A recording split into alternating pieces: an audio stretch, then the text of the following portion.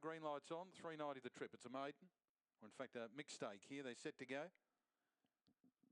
Racing. Evident's begun well enough near the rail and Musters pace to hold its spot near the fence in front. Over Darboven Bale. Leader wants to get off the track a bit, but it's got a length on Darboven Bale. OK Flash. Then President Peggy chasing Summer. No Bob Rob. Myola Frost. Natalia Lee. They turned. Evident gave them a good look getting out to the centre, but got clear. OK Flash running on, but Evident's going to have too much on them. Comes clear to beat.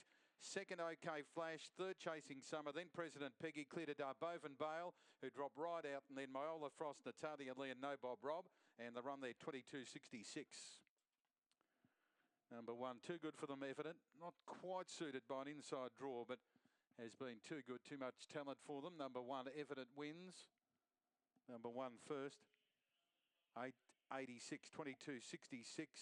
Won the winner, evident. One first will be three OK Flash, four chasing summer. Probably five fourth President Peggy. 886, 1378. 22, 644 and the shorty wins